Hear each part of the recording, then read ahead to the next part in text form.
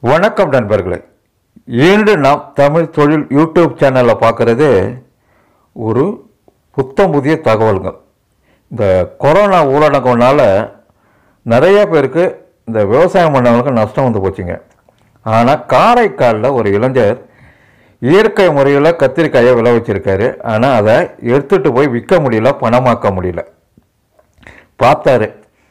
கத்திரிக்காயிலேருந்து மதிப்பு கூட்டினா என்ன பண்ணலான்ட்டு யோசித்து வத்தல் தயார் பண்ணிட்டாரு. அதுவும் ஏன்னு கேட்டிங்கன்னா இப்போ நல்லா வெயில் அடிக்குது. உடனே அந்த கத்திரிக்காய்களை கழுவி சிறு சிறு துண்டுகளாக வெட்டி ப்ராசஸ் பண்ணி ஒரு கிலோ கத்திரிக்காய் சாதாரணமாக ஒரு கடையில் போடுறது வந்து பத்து ரூபா பதினஞ்சு ரூபா அதிகபட்சம் இருபது ரூபா தாங்க. ஆனால் முந்நூறுரூவாய்க்கு விற்றுருக்காருங்க இந்த பொது முடக்கத்தால் விற்காத கத்திரிக்காய்களாய் வற்றலாக மாற்றி லாபம் ஈட்டிய பட்டத்தாரி இளைஞர் இவர் தாங்க இதை பற்றிய நியூஸ் வந்து ஒரு டிவியில் வந்தது. இது நம்ம சப்ஸ்கிரைபர்களுக்கு ஒரு நம்பிக்கை கொடுக்கக்கூடியதாக இருக்குன்ற ஒரு எண்ணத்தில் தான் இந்த வீடியோவை போடுறேன்.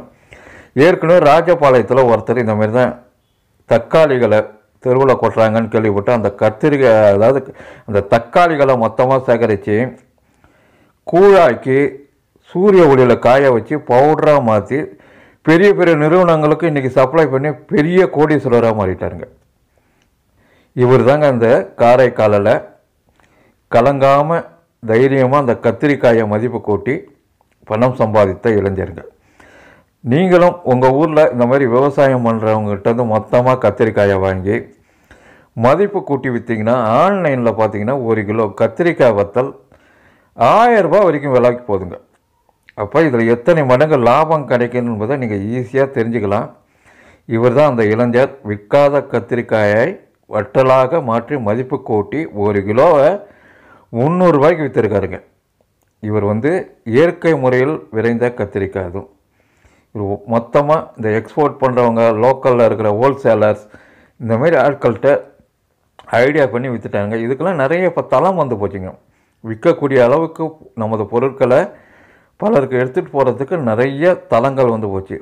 தொடர்ந்து இந்த மாதிரி மார்க்கெட்டிங் பண்ணுற விஷயங்களை பற்றி நிறையா போடுறோம் பாருங்கள் ஒரு இளைஞர் வந்து அற்புதமாக ஒரு பொருளை எப்படி மார்க்கெட் பண்ணுறாரு என்பதை இந்த மாதிரி இன்னும் நிறையா விஷயங்களை தொடர்ந்து போடுவோம். இப்போ பார்க்கக்கூடிய இந்த இளைஞர் இப்- ஒரு கிலோ கத்திரிக்காயை முந்நூறுரூபாய்க்கு விற்று லாபத்தை பார்த்தாரோ அதுமாரி நிறைய தொழில்கள் இருக்குங்க. நம்ம கண்ணு முன்னாடி நிறையா இருக்குது இது எப்படி மதிப்பு கூட்டுறது என்பது ஒரு வீடியோ வரும். இதை நீங்கள் உங்கள் வீட்டிலேயே செய்யலாம். யூடியூப்லேயும் நிறைய வீடியோக்கள் இருக்குங்க. கத்திரிக்காய் வத்தல் தயார் பண்ணது எப்படின்ட்டு. இந்த கத்திரிக்காய் வத்தலை எண்ணெயில் பொரித்து சாப்பிட்டிங்கன்னா அந்த அளவு டேஸ்ட்டாக இருக்குங்க. இது வெளிநாடுகளுக்கு மிக அதிகமாக போகுதுங்க. இதுதாங்க அரிஞ்ச கத்திரிக்காயை இந்த காய வச்ச வத்தலாக மாற்றி எண்ணெயில் பொரித்து எடுத்தால் இந்த மாதிரி தாங்க இருக்கும். முதல்ல அந்த கத்திரிக்காயை சிறு சிறு துண்டுகளாக வெட்டி ஒரு தண்ணியில் போட்டு வேக வைக்கணுங்க. ஒரு குறிப்பிட்ட அளவு வேக வச்சு வடிகட்டி காய வச்சு திருப்பி அதில் மோர் அல்லது தயிரில் உப்பில் போட்டு நீங்கள் இது பண்ணணும். ஊற வைக்கணுங்க.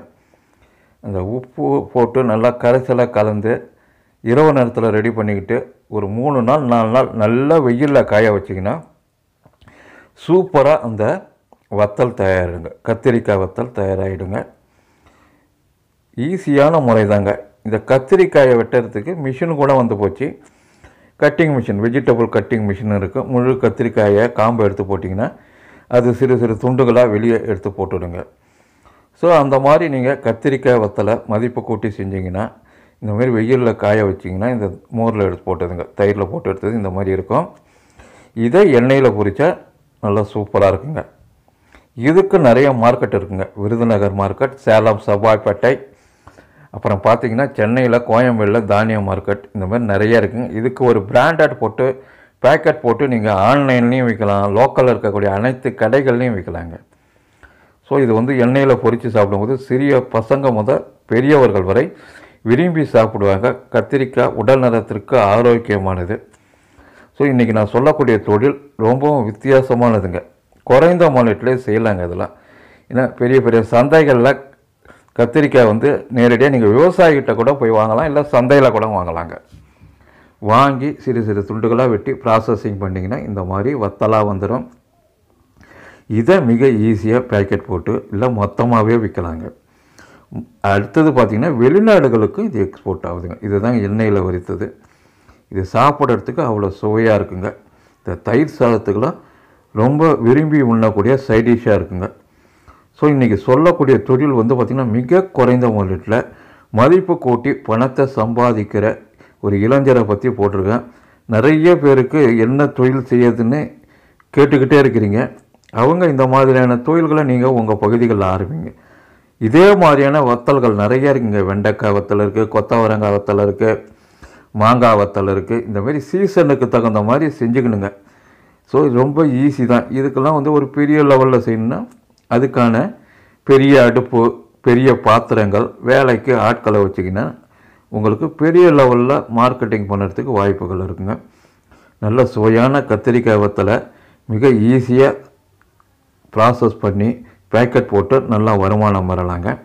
இப்போ இது வந்து ஆன்லைனில் என்ன விலைக்கு விற்கிறாங்க என்பதை பாருங்கள் பார்க்கும்போது தான் உங்களுக்கு நம்பிக்கை வரும். அப்போ தான் உங்களுக்கு இந்த தொழிலில் இன்னும் ஆர்வம் வரும். கால் கிலோ வந்து முந்நூற்றி ஐம்பது ரூபாங்க. இது வந்து அமேசானில் விற்கக்கூடியது. கால் கிலோ கத்திரிக்காய் வத்தல் முந்நூற்றம்பது ரூபாங்க. இப்போ என்ன விலைக்கு கிலோ என்ன விலைன்னு கணக்கு பண்ணிக்கங்க. இவங்களோட இது பார்த்திங்கன்னா ஆயிரத்தி இரநூத்தம்பது ரூபா வருங்க.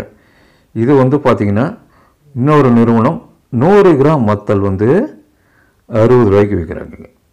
இது சின்ன லெவலில் செய்கிறவங்க ஸோ இன்றைக்கி நான் சொல்லக்கூடிய தொழில் நிச்சயம் உங்களுக்கு பயனுள்ளதாக இருக்குன்னு நம்புகிறேன் தொடர்ந்து நமது தமிழ் தொழில் சேனலை பாருங்கள் சப்ஸ்கிரைப் பண்ணுங்கள் லைக் பண்ணுங்கள் ஷேர் பண்ணுங்கள் தினசரி நான் போடும் வீடியோக்கள் உங்களுக்கு வரணுன்னா மறக்காமல் பெல் பட்டன் எழுத்துங்க இன்னும் நிறைய தொழில் சம்பந்தமான வீடியோக்களை போட்டுக்கிட்டே வருவோம்.